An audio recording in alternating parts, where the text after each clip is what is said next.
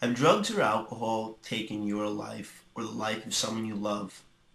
Addiction is a really serious thing, and it's tragic to see someone lose their life over something that can be helped. So nip the problem in the bud right now and call 1-877-589-4560. Contact the National Addiction Helpline because we're here to help you so you can help yourself.